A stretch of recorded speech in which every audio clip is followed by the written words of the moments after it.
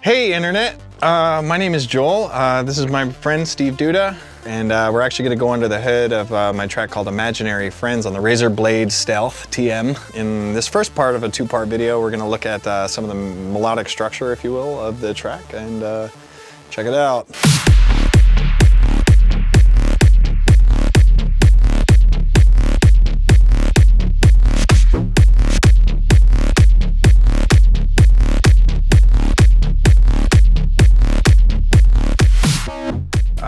Flew Steve up here because uh, Steve actually knows a lot more about kind of the technology uh, under the hood and stuff like that. So I figured he could help out with some of his uh, insight in there. Um, I'm a bit of a musician, not a freaking Liberace, uh, and definitely not Pharrell. I, I, could not tell you what that note is on that piece of paper, but uh, together, uh, I think we could uh, offer some cool little bits of advice that may or may not help you on your way to creating an EDM banger.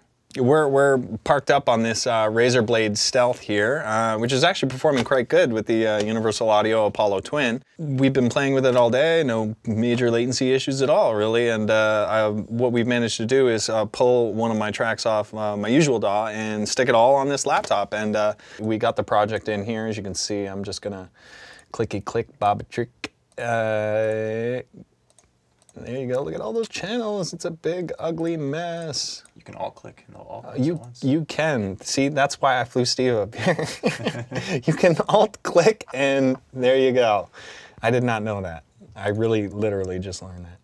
So this whole thing here is the track. It's uh, currently occupying about uh, 40 channels of um, random stuff. And uh, the track's called Imaginary Friends. Um, we did consolidate some stuff just to save a little bit of CPU and uh, some libraries that were on other hard drives that we couldn't like port over in a hurry. So um, that's just the way it is. So uh, what we're gonna do is we're just gonna kind of do a quick run through about like you know how the track was made, how the process of creating it, and then maybe go into a little bit of um, mixing and mastering, if you will. Um, so uh, let's get started. I've seen I've seen you be in the studio and not try to make a track from start to finish, but on some days you'll just come up with melodies or chords or something like that, and then maybe at a later time you'll you'll reevaluate those and come back and, and maybe like fill it out with a pick a sound for it and build it up into a track. Um, is that kind of what happened here? Did, did you start with like a, a simple idea? Yeah, absolutely. So um, what, I, like Steve said, um, more often than not, I want to say 80% of my creation time, uh, as some of you are fans and watch my streams and just see me goofing around, is uh, literally just coming up with tons of phrases and melodies and stuff like that, with no drums, no, you know, I don't set out to make a track from start to finish. Uh, I, I some people do. Uh, I don't. And that's just my method. Um, and one idea that kind of struck me for this track was actually an old track called uh, 71C. Um, and I'm just going to loop this section here. This was the melody.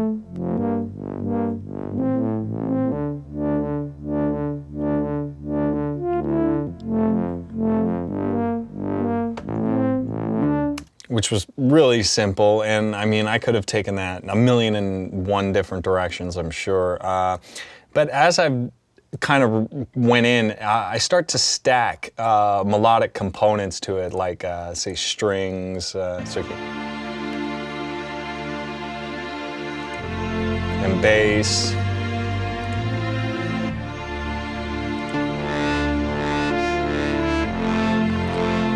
And then all the way up to using uh, Serum as an arpeggiator on top of all that.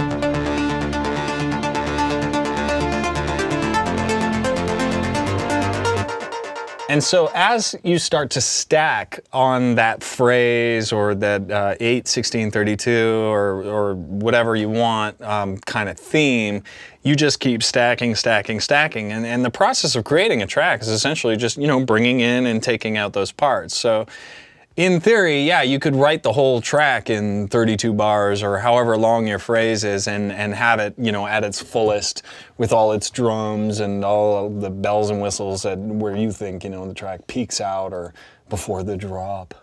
Um, So uh, that's kind of how I start. So, so you you build up kind of cycling over a shorter amount of time, and then once once you sort of feel like something bigger, you're going to kind of duplicate that in time, and then make it make changes or or start arranging bigger structure for the song. Right. Um, and as as it is with EDM, I mean, it, it's no secret that you know a lot of it is you know sort of you know cycles and variations of the, like repetition. You know, so uh, as to follow the formula that you know you're going to have you know peaks and drops, peaks and drops, but have that consistency across the whole like on average, I guess uh, six to 10 minute long track. Um, you know, you're to have your, your intro kind of thing, and then, you know, maybe around this neighborhood, uh, after uh, 64 bars, you know, your drums kind of kick in, and then you have that main, I don't know, the main dance part, I think is the correct musical term for it.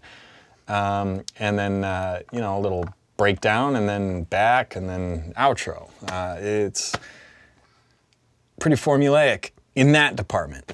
Um, but uh, and then yeah, it's just it's like painting. You know, you different colors, different types of paint, and it's a lot you can do within that framework to kind of make make your own sound or or make your own original song not sound like every other song as well. Um, so cool. So you have you have basically two kind of main sections to the song. There's the parts that you just played with the melody and the chords, and then there's uh, the main drop section, which is more kind of drums and and, and a bass part. and a hint of the root of the main melody. Um, carries through. Yeah, it just carries through constantly, um, which is I think here. There you go.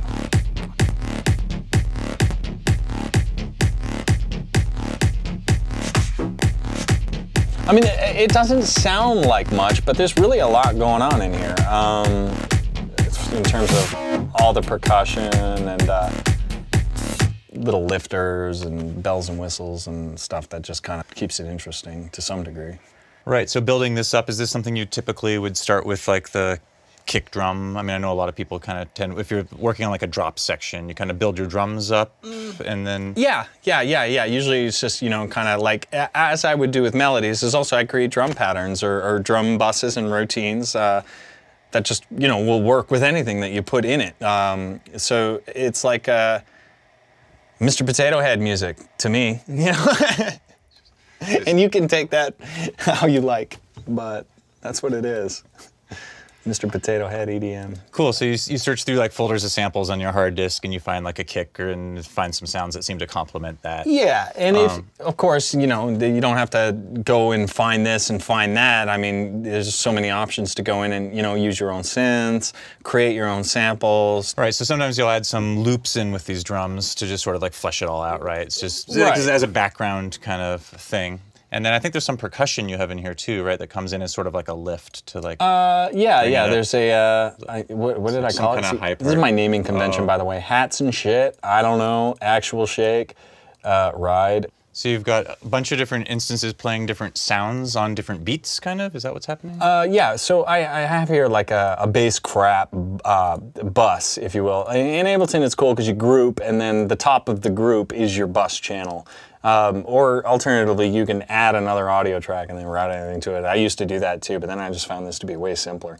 So what I do here is I have all these instances of Serum basically playing, you know, the, the corresponding note that I want for that kind of low end drone. Now it sounds a little weird. Um, of course, if I bypass the limiter in LFO tool, which I'll explain real quick.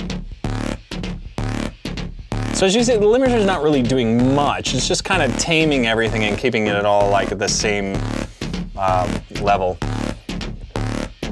Um, and then once that's, as you can see here, it's just kind of you know ducking everything down like 7 dB or, or Yeah. lifting it up. it's squashing it pretty hard. It's kind of. Yeah, it's aggressive. Um, and then what I'm running after that is LFO tool.